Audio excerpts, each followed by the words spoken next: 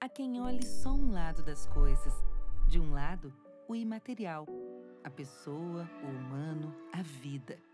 Do outro, o dinheiro, os negócios, a produção, o mercado. Para a sorte de centenas de crianças, nós escolhemos um lado.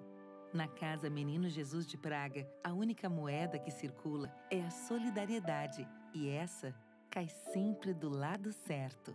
Apoio Fundação Maurício Sirotsky Sobrinho.